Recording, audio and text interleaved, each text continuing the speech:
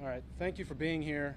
Obviously, I think it's very important that we get information out for anybody who may have seen Gabby or her vehicle, which we've sent the photos today.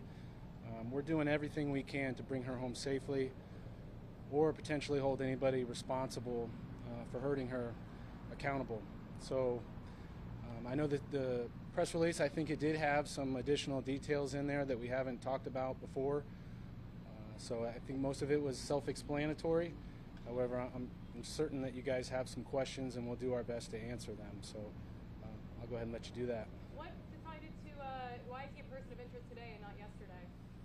Well, yesterday we were not the lead agency in this case, so you know as things have evolved, um, I think we're now at a comfortable level. I think there are things that we know in this investigation that we're trying not to release. I know you guys are all doing your best to get some of that info, uh, but we really think for the integrity of this investigation that it's important that we not release everything we know when we know it.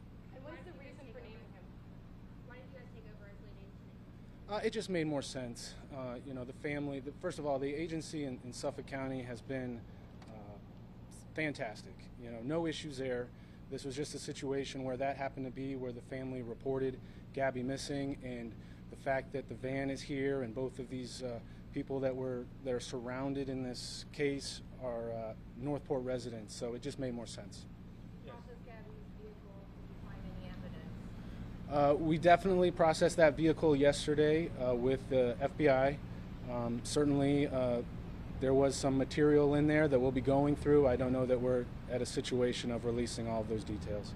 As time goes on, other groups are more concerned for Gabby's well-being. I think everybody in this country apparently is concerned for Gabby's well being.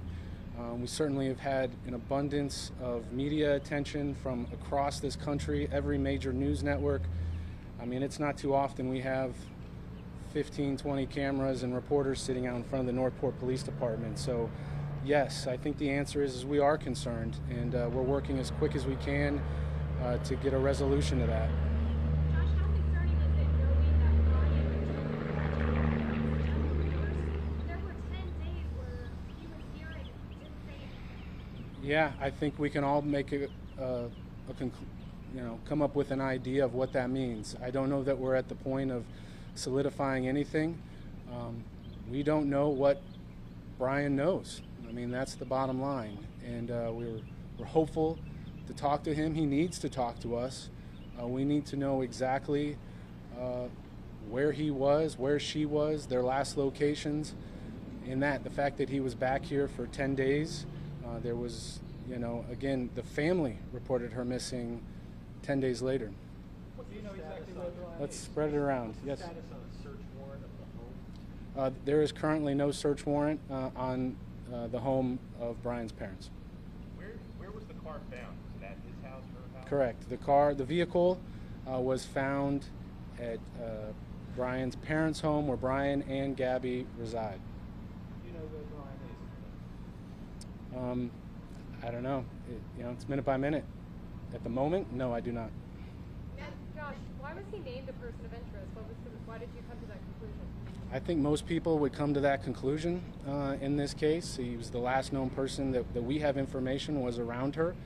Uh, you know, how you define person of interest is up to you, uh, but certainly we are interested in talking with him. What does not what does not cooperating look like? One at a time. Who's going? You've What gone. does, what does the non-cooperating look like? What, what is he? What Uh, okay, so here's the situation that happened. We went to the door Saturday night. We asked to speak with Brian and his family, and we were essentially handed uh, the information for their attorney. That is the extent of our conversation with them.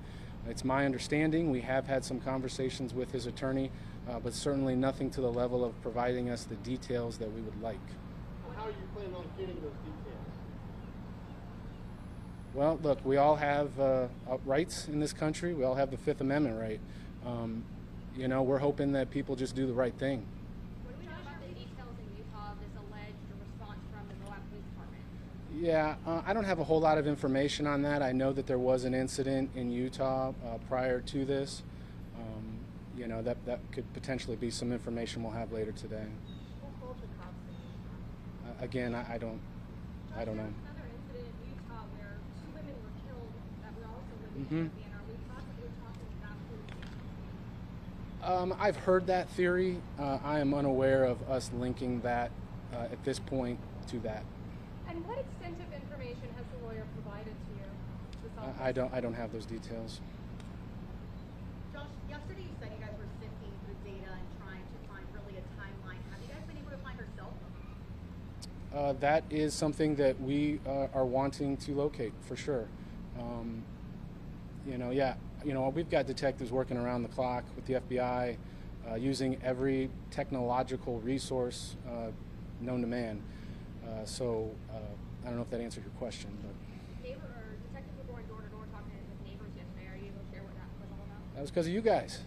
Uh, the neighbors have certainly been inundated by the media. I think that they have had numerous people knock on their door and drive in their yard. So I respectfully ask you to.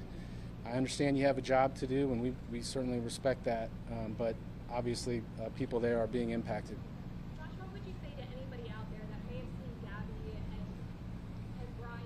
What would you say to them if they have information to include in this? Sure. Well, we now have this new uh, tip line that we're just want everything to funnel through. So, one eight hundred call FBI. That's what we're hoping for.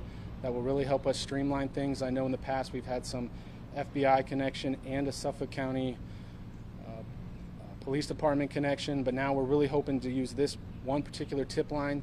Uh, the FBI can help us vet. Uh, as you can imagine, we get a lot of goofy phone calls and, and stuff like that that really aren't helpful, that really send us down some rabbit holes that are just a waste of our time. So I really hope that if you, if you have something viable, to reach out to us. Are any of your detectives out west helping, or are they all here? I'm unaware of that. And is there anything your office can do to force him to talk, like such as seeking an arrest warrant, taking him into custody? Are you close to that? Um, I, I think we're just pleading with him at this point to please speak with us. We need to understand those details. You know, the, they put out a release yesterday saying they remain in the background. That is not good enough. We need the details. and do you plan to escalate those requests? As far as doing what? I mean, we all have the Fifth Amendment right in this country not to speak. Uh, we'll anything under the law that we are uh, capable and able to do to to try to get information, whether it be through Brian or anyone else, we will do. Josh, Brian allowed to drive the. Digital forensics. Get into it one time, yes, ma'am. Is, is that still, is Wyoming still the last known location, and is there a search going on there right now? Uh, we do not have a search that we've organized in Wyoming. It is my understanding that the family themselves uh, from New York has flown to Wyoming. I cannot confirm that, that they're doing their own search. I have heard that. Um, I believe that to be true, but I, I cannot confirm that. Has the FBI and Well, one second. We got this, this man. Was Brian legally allowed to drive the van? Was he co-owner or insured any implications? Uh, the van was re- is in her name, um, so as far as insurance-wise, that has not been a, a conversation that I've had. Um, certainly, the fact that it was in her possession. I mean, I don't know that any of us are currently worried about a, a stolen vehicle charge. We're trying to get to uh, the bottom of this. Has the FBI joined that search out west? To your knowledge? I am un- I, I do not have knowledge of that, ma'am. How does feel about the investigation right now? Any closer than you were yesterday? I know it's only been 24 hours. Right. I think with every minute, uh, more details come in, more things are, are worked on. Um, you know, is I can tell you right now, we do not have, uh, you know, a, a definitive answer here.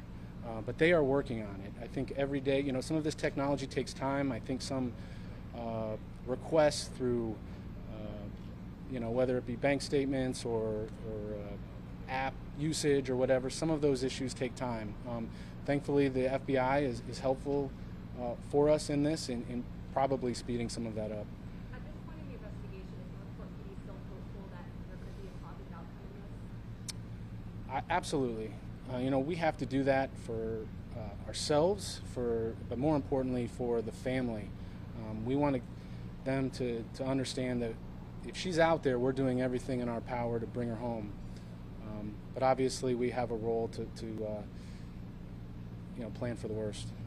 And Josh, do you have any leads related to the evidence of the van? Uh, do you have anything on foul play? Yeah, I mean that that van was processed less than 12 hours ago. As far as with the FBI, the inside, you know, we did a cursory search of it on the outside when we initially got that van on Saturday, but uh, wanting to make sure, you know, you only get one shot at some of these things. So uh, we handled it um, you know, professionally and appropriately. Uh, so uh, certainly not to the level of we're ready to come out here and speak with you all on it. And is part of the investigation including pulling highway cameras and things like that? Absolutely. Yep, we'll use uh, everything tolls, highway cameras, gas station surveillance cameras, tips, cell phone usage, financials, whatever. And anything to report from those cameras, like when he was driving? Oh, I can tell you that we have received um, some uh, video footage from different times. Whether that is helpful, I don't know. Can you share what those times were? I cannot. And to be clear, Suffolk PD, who was the lead investigator before? The Suffolk County uh, Police Department, yes. And again, I want to be clear. I know this isn't necessarily important for your story, but uh, this was not a matter of uh, taking over control. This was just uh, what made sense. Josh, uh, the Instagram account, Gabby's Instagram account has been restored. Uh, That- do you have any knowledge Uh, I can tell you that we were initially made aware of that by the media this morning, um, and uh, we are looking into that. Um, that was, to my knowledge, that was not something that, that we have done. Okay? And um, his attorney, is he based on Long Island in New York? He is, He is. So no local counsel has been, to your knowledge? correct. We've been provided one name and one phone number, Are any of your detectives in New York? not to my knowledge. Okay? All right, thank you, everybody. Uh, We really appreciate the work that you do to get this information out. It is important, and we understand the public uh, need for info on this, and, and we're, we're working for a good resolution, hopefully. Thank you. Thank you so much.